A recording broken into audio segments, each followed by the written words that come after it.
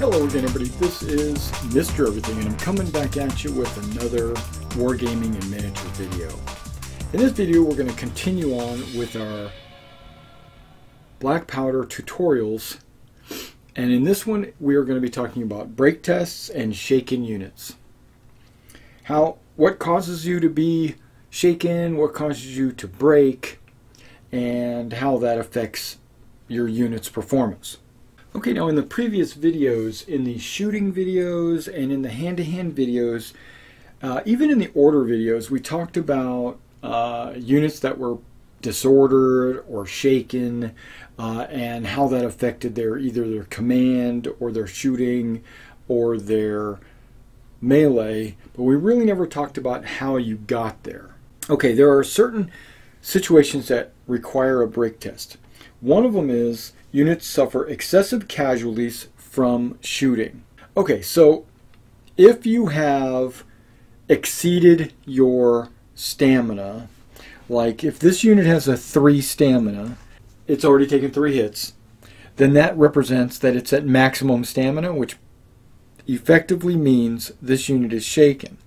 But if it takes additional casualties from shooting, bang bang, takes additional casualties, this unit will have to make a break test. So if it takes ex excess casualties, if it takes four casualties in one shot, that is still over its stamina, so it will have to roll. During closing fire, when a unit is moving in to hand-to-hand -hand combat, right, they come in and then this unit does closing fire. This is a Dutch Belgian unit. Closing fire on these French units.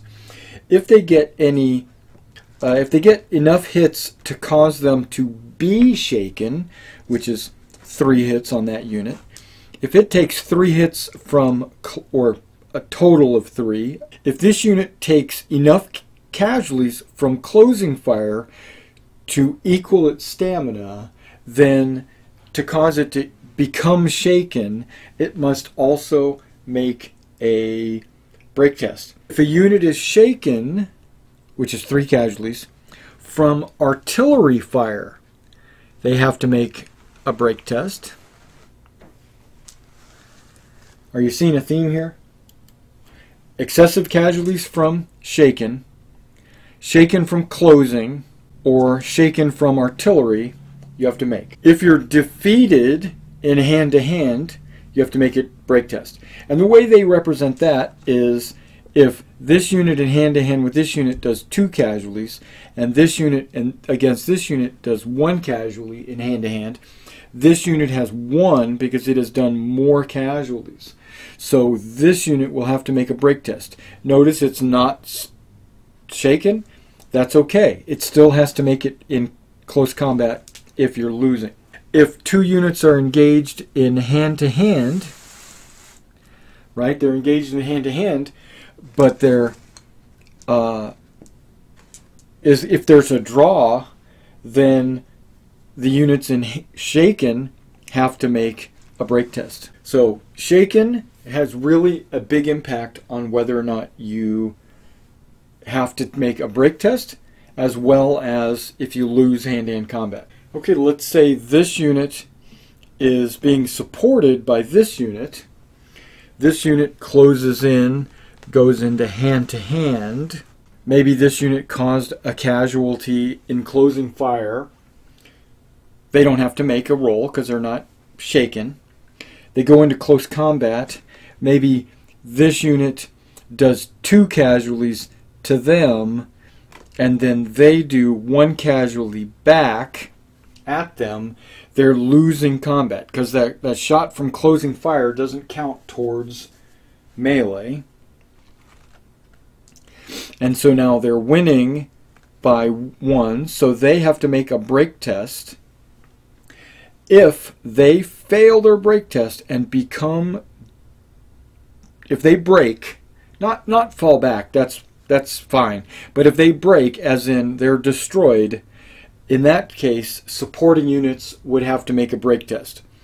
If they are not broken, they just fall back or hold their ground or something like that, they do not have to make a break test. So supporting units that are supporting a unit that breaks also must make a break test.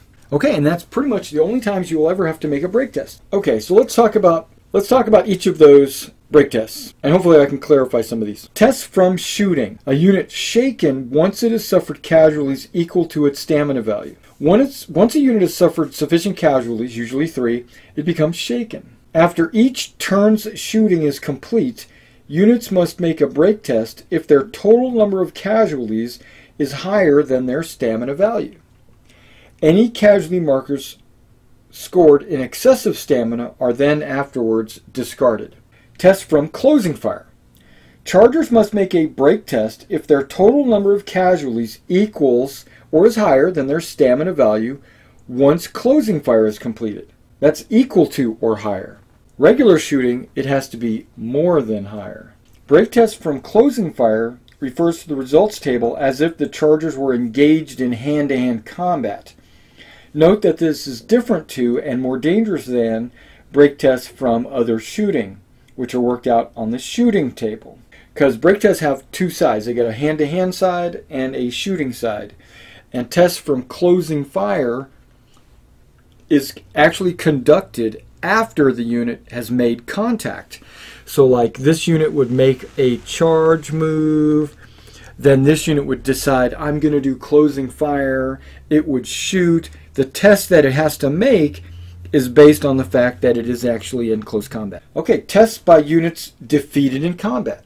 Once the engagement has been fought and the results calculated, each unit engaged on the losing side must make a break test. In most cases, there will be a single unit, but it is possible for two or more units to be engaged. Units that lose combat must take a break test regardless of whether they are shaken or not. You'll get a minus if you take casualties in excess of your stamina, same way as shooting, and they're removed once the break test is completed. Okay, test from units in drawn combat. Drawn is when it's a tie. If the combat engagement results in a draw, all units that are shaken must make a break test. Units on both sides have to test if both sides are shaken. And it doesn't matter which side tests first because they both have to test. Test for supporting units. Remember this Brunswicker over here that was supporting our Dutch Belgians?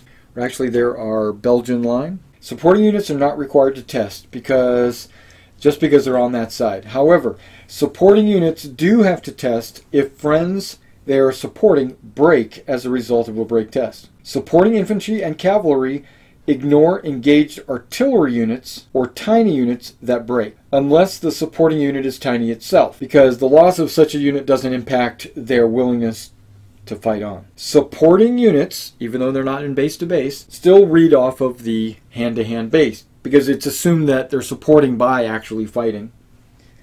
So they they run off the hand to hand line. Okay, supporting units will test whether they support or not. So for purposes of this test, supporting units are considered to be such as if they are theoretically able to support regardless of whether they actually contribute a support bonus or not.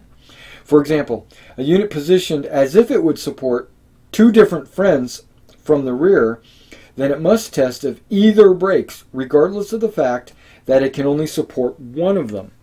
So let's say this unit was actually supporting this British unit that's off the screen that you can't see.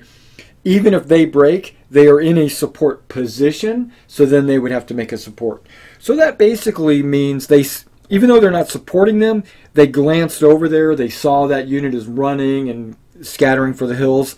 So they have to make that test as well. Okay, note that the break rule, like when I say that unit gets destroyed, doesn't necessarily have to be based on the die roll. It could be as a result of, let's say, it's being charged on all four sides, and then this unit has to retire one move, but it can't because there's nowhere to back up and they get eliminated, then any supporting units that might have been supporting them are also eliminated.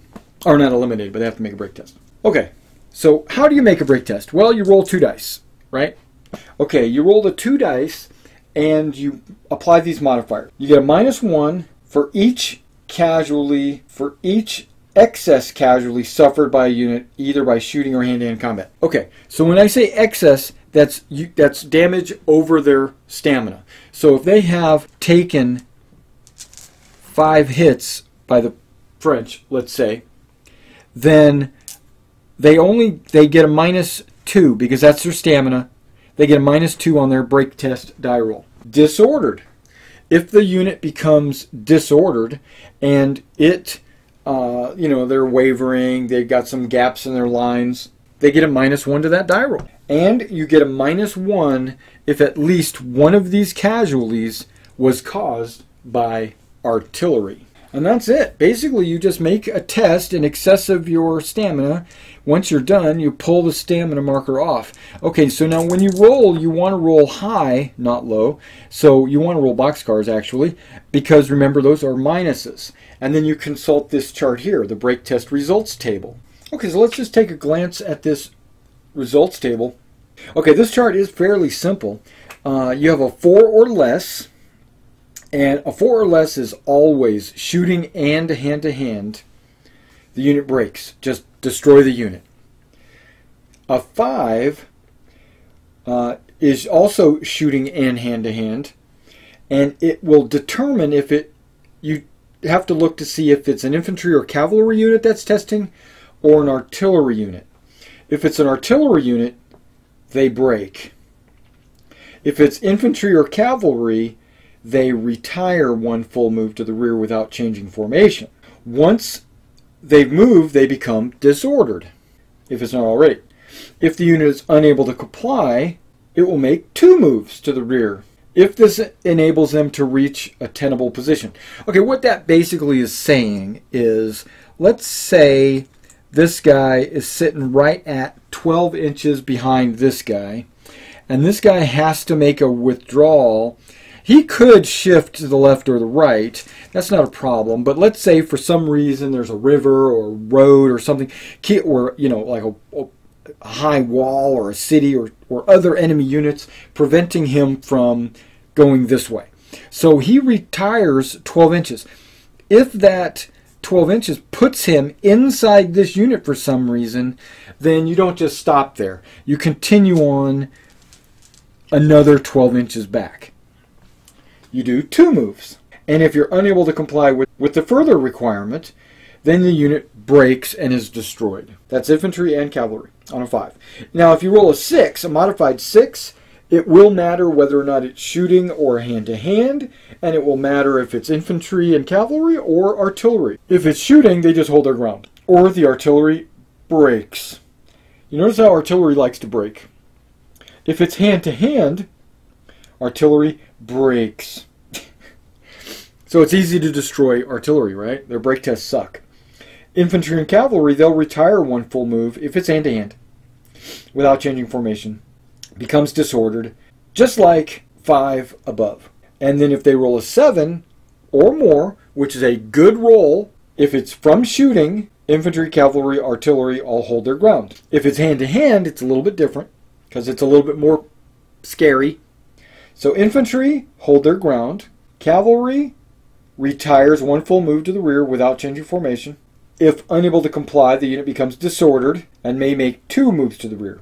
And if it's unable to comply with that, it breaks. Artillery breaks. So even if artillery, the only time artillery won't break and run is if it's seven or more from shooting. That's it.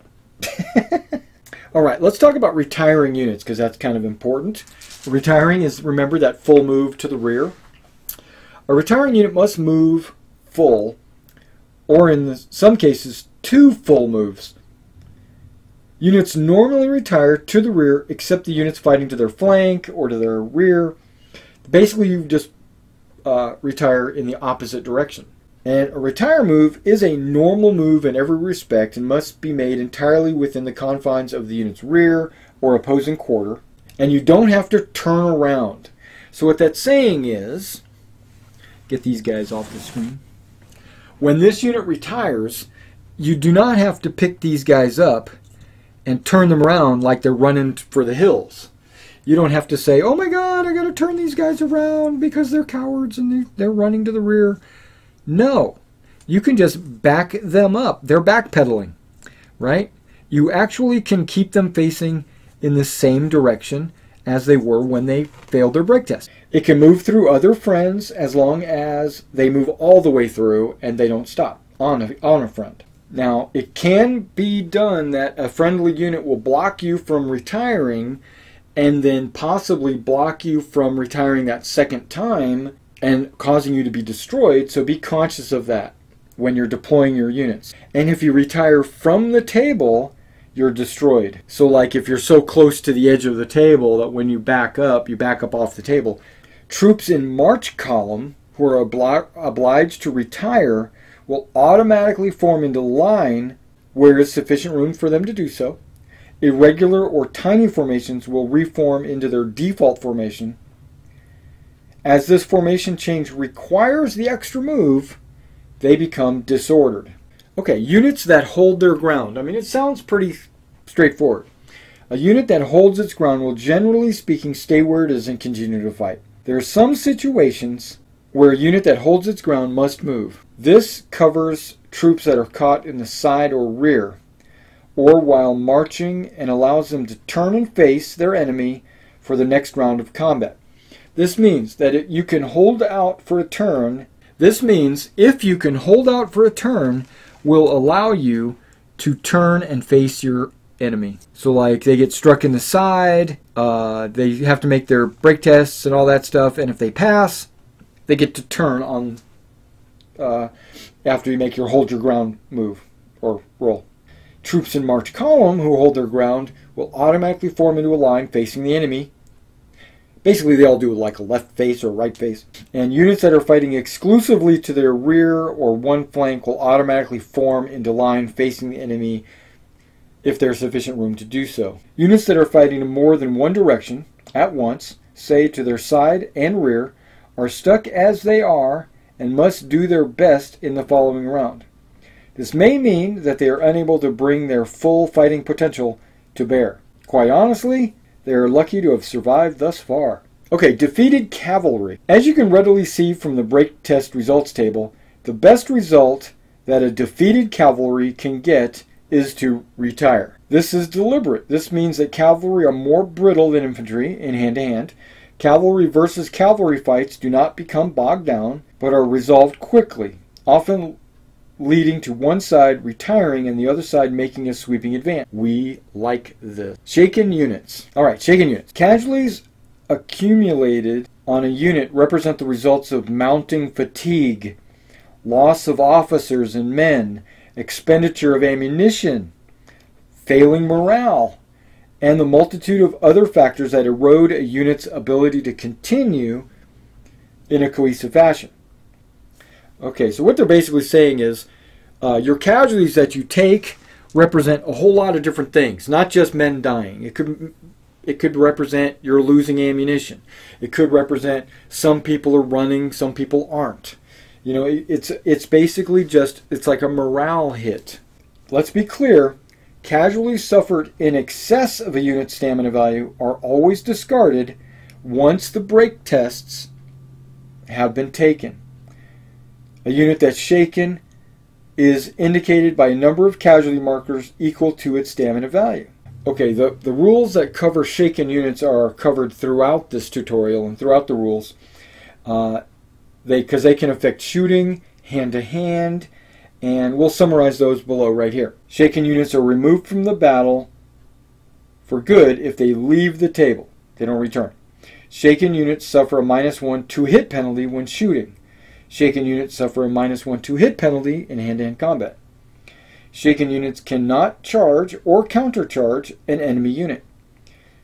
Shaken cavalry units that win a round of combat cannot use a sweeping advance. Now, as described in the rally order, it is possible for officers to restore a unit's fighting efficiency by rallying troops that are therefore removing casualty markers the rule applies to all units that have suffered at least two casualties, including units that are shaken. If a shaken unit is successfully rallied in this way, it loses one casualty marker and is no longer shaken. So if I rally this unit, I'll take one off, they will be non-shaken.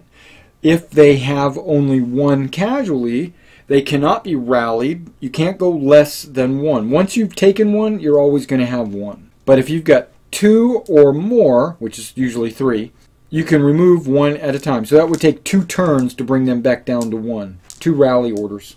But you might rally one more and then take another hit, you know, or something. It's, it goes back and forth. All right, now that is break tests. Now I do want, I'm going to close the book, set it off to the side, and I do want to make a, a real quick comment. I've watched a number of videos out there, guys, and uh, some tutorials, and some also some gameplay videos, and uh, this is really what prompted me to make these tutorials is because I've I watch these other games, and I in my head I'm pointing out rules to myself that they are doing wrong or they're misinterpreting. And so I'm putting out these tutorials to help alleviate some misconceptions. One of them is a unit doesn't have to make, and when I say a unit, I mean like a whole brigade doesn't make a break test against your morale value once you need to make a morale value, uh, a, once you get to a certain number of casualties. So what you do is you calculate your brigade morale to determine if a brigade as a whole has lost its will to fight. And one of those, and, and we'll go over this later in detail, but I just wanted to touch on this because a lot of people are thinking that break tests are brigade break tests or uh, the morale value of a unit is the morale of the unit. And it's not. The morale value is your saving throw versus casualties. If at the start of a turn, half or more of your infantry and cavalry in a brigade are deemed broken, the remaining units of the brigade are immediately broken. Okay, so uh, there's no die rolling to save anything, uh, or or there's no um, chance for this not to happen. This is automatic. So at the start of your, let's say this brigade had four infantry units, and now it's down to just two, they're considered broken. Now, how do you determine if, if they've lost a unit for calculating broken? Well, if a unit's been removed from the battlefield, either destroyed or left the field, or uh, if they're shaken at the start of the turn. So a unit that is shaken counts against your brigade morale. Usually you can ignore artillery pieces. But in some brigades, like when it's a all artillery brigade or something like that, then of course each of the artillery pieces would count. But normally artillery is an attachment to an infantry or cavalry brigade, and you don't count those. Now imagine it's an odd number, like three infantry, two cavalry, or something like that, and it's got five units. You you have to exceed half the unit. So the three of them would have to be broken or destroyed, or or shaken or destroyed. Now there's a few rules that brigades have to do uh, when they are broken. Units from broken units cannot return to the table. Disordered units in a broken unit have to remain disordered, even if they have a die roll. Some elites have it like a die roll to remove disorder even when they're uh, in close combat or something like that. You still can't do it if the army or if that brigade is broken. Units that are shaken cannot be rallied even if they are allowed to recover by means of some other special rule. Once you're shaken, you're shaken if the brigade is broken. All units are allowed to make a single retire move in the command phase instead of using their initiative or receiving an order. They can do this even if disordered. Technically, it's the only move they can make. Units within 12 inches of the enemy and not already engaged in hand-to-hand combat must retire as described above, and artillery units that choose to retire can expend two moves, one to limber and one to move assuming they were no normally able to do so.